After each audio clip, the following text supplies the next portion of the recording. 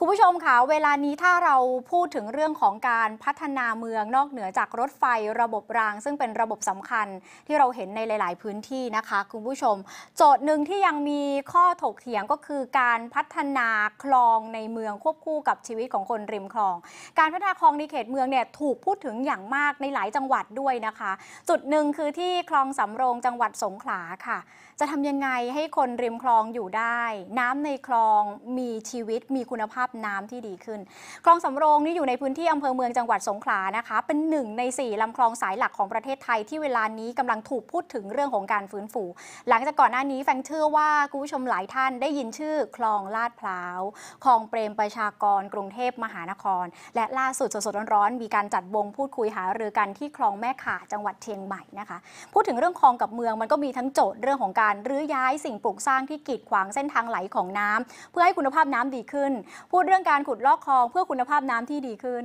พูดเรื่องการสร้างที่อยู่อาศัยใหม่ ๆ แล้วก็การปรับภูมิทัศน์ของชุมชน นี่คงเป็นโจทย์หลักๆ ของการพัฒนาคลองนะคะ บ่ายนี้แฟงจะชวนคุณผู้ชมเจาะไปดูในรายละเอียดของคลองสำโรง อยู่ในพื้นที่จังหวัดสงขลานะคะ คุณผู้ชม ตัวของคลองสำโรงที่คุณผู้ชมเห็นในภาพแมปตรงนี้ นั่นคือเส้นสีเหลืองๆทั้งหมดคือเส้นทางของคลองสำโรงในพิกัดที่จังหวัดสงขลานะคะ ถ้าแฟงย่อออกมาคุณผู้ชมจะเห็นว่าจุดนี้เป็นระบบภูมิศาสตร์ที่มีความสำคัญ ฝั่งหนึ่งอยู่ติดกับทะเลสาบสงขลาค่ะ คุณผู้ชมด้านนี้นะคะ คือทะเลสาบสงขลาคลองสำโรงคือเส้นทางสีเหลืองตรงนี้ และฝั่งนั้นคืออ่าวไทยค่ะ แปลว่าระบบนิเวศที่นี่เป็นระบบนิเวศที่มีความสำคัญเชื่อมกับแหล่งน้ำสำคัญ 2 แหล่งนะคะ ในช่วงหลายปีที่ผ่านมาหน่วยงานในท้องถิ่น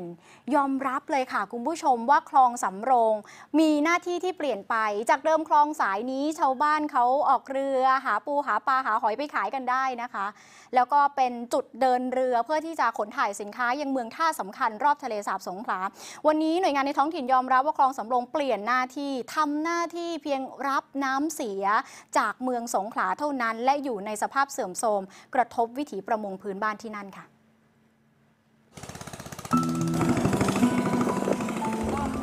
เมื่อก่อนนี่จำได้นะเหตุมาอยู่ไม่ไหมอันพบสิบว่าปีเลยก็เกิดมาจากป่าสนอ่อน ถึงพ่อแม่ยายมาอยู่กับเซงการและคลองเมื่อก่อนนั้นมันเกี่ยวกับคลองนี่ลุงมาอยู่ไม่ไหมอันแบบมันกว้าง ถึงมันสะอาดกันนั้น คือชุมชนแรกในสามชุมชนจังหวัดสงขลามีสามชุมชน แต่มามันมีวัทยาเตาอิดและก็กาเซงคนที่เตาอิดนี้จะเป็นคนเป็ดบุรีเยอะ คนกาเซงคนมุสลิมเยอะ คนที่วัทยากาบมันเป็นคนแถวละโนดแถวเขาอยากคนบล็อกใช่ไหมก่อนนั้นเรียกคนบล็อกคืออยากอยู่ตรงนั้นมากาจนกาว่าถึงมาจุปัจจุบันเนี่ยมันไล่รุนแรงเลยต้นมาก็จะเป็นประมงผืนบ้านนะคะพอปีโตมาก็ เห็นเป็นประมงผืนบ้านแล้วก็มีรับจ้างทั่วไปก็มีค่ะ อาชีพงานประจำก็มีค่ะค่ะ ส่วนส่วนตัวผีผีเป็นเมคาค่ะ เป็นเมคาแล้วก็ประกอบเอ่อประมงผืนบ้านด้วยค่ะ ช่วงนี้ตอนนี้ไม่ได้ทำไรเลยเลยห้าหกเดือนนี้เพราะเขินมันขึ้นเลยเขินมันยาบกันมาลงมาเขินมันยาบถึงคนก็หากินไรไม่ได้เลยคนที่ยึดอาชีพตะเลกับเขาเลยห้าเดือนนี้ว่างเลย ครับรายได้มันไม่โตเนืองเลยมันนะ มีข้อมูลจากทางพอช ร่วมกับชาวชุมชนและภาคีเครือข่ายนะคะ เขาสำรวจข้อมูลเบื้องต้นตั้งแต่กันยายนที่ผ่านมาค่ะ พบว่ามีชุมชนตั้งอยู่ริมคลองสำโรงจำนวน 15 ชุมชน รวมแล้วประมาณ 584 ครัวเรือนนะคะ ที่นั่นมีประชากรประมาณ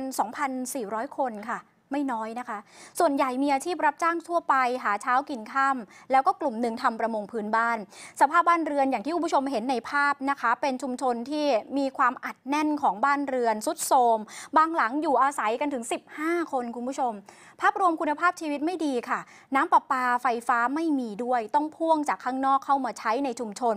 ที่นี่ไม่มีทะเบียนบ้านถาวรนะคะ ที่ดินส่วนใหญ่เป็นที่ดินของราชพัสดุ แล้วที่ดินที่อยู่ติดกับริมคลองเป็นที่ดินของกรมเจ้าท่า ตอนนี้หน่วยงานที่เกี่ยวข้องอยู่ระหว่างการสำรวจข้อมูล และกำหนดพื้นที่นำร่อง ในการออกแบบแก้ไขปัญหาให้คนอยู่ได้และคลองอยู่ได้ค่ะ